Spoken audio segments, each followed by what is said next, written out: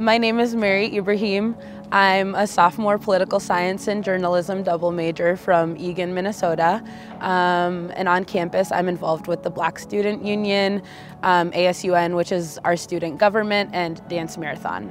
My name is Davon George. I'm a sophomore graphic design major, and I am the president of African People's Union on campus, and also I am a part of the executive team for the Black Student Union on campus.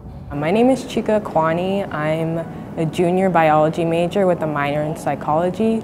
I'm currently the president of the Minority Pre-Health Association here on campus, and I'm also the public relations chair for the African Student Association. My name is Drake Keeler. I am a junior at UNL, I'm a journalism major. I'm the senior sports editor at the Daily Nebraskan. I'm also the um, internal chair of the Diversity and Inclusion Board.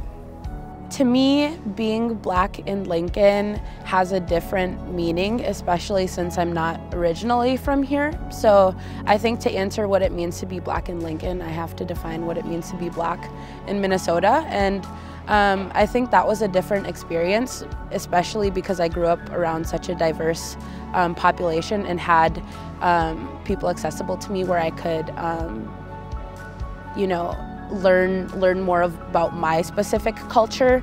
Um, so being black in Lincoln right now means adjusting and trying to figure out how other black people in Lincoln feel and what their struggles are and trying to help them along with also acclimating myself to being in a new place. Not gonna lie, it's kind of hard to be black in Lincoln just because like the demographics are so different. Um, there's a lot more white people than there is black people, so it's like the sense of community and like culture is kind of hard to find here in Lincoln, but um, you know, finding like my footing on campus and like with other people within my community through like um, through like community service events or like something like that, like it just makes it easier to um, like find a sense of belonging.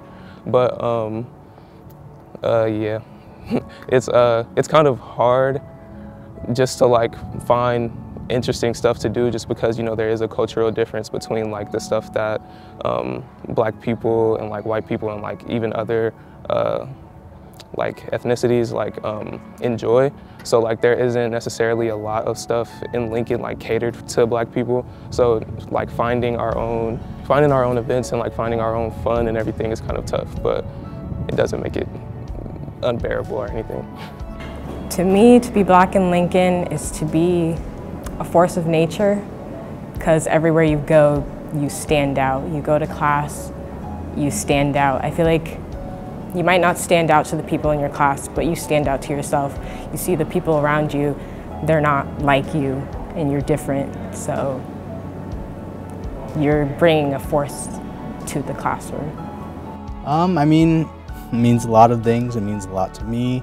Um, there's not a lot of black people in Lincoln, so it's important that it's important that you know we use our voices and there's a the black community while smaller is still strong